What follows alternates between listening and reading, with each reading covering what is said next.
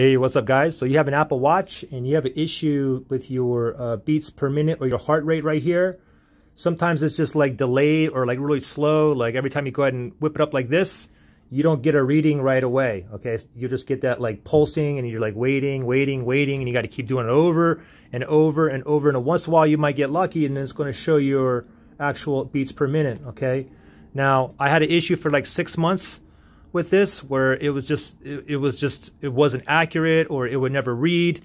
My problem was this, okay, and I'll give you two two possible fixes, okay. First of all, you can't have your Apple Watch at your actual wrist. First of all, you have to move it up a little bit, like one inch above your wrist. Another thing is too, I used to have mine a little bit too tight. I mean, it was perfect. That's how I wear my watches. But with these, like fitness watches, you, it has to have a little bit of leeway. Okay, just like if you have like a Fitbit, it's the same deal with these as well.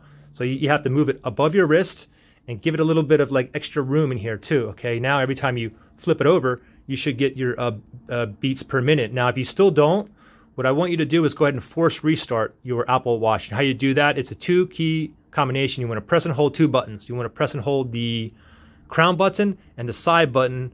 Press and hold both buttons and do not let go until you see the Apple logo. And then you can go ahead and let go. And this will do a force restart. Okay, so right now we'll do, we'll do it together. Okay, so um, the crown button and the side button. Ready? One, two, three. Press and hold both buttons.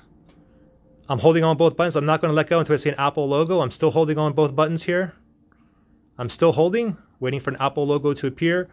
There we go, and there you go. And hopefully now it just reads a lot faster. It's not so slow or like delayed. Remember, you also need to have your uh, watch above your wrist, like an inch, and you got to give it a little bit more room here. Okay, if it worked for you guys, give me a thumbs up. If it didn't, give me a thumbs down. Good luck.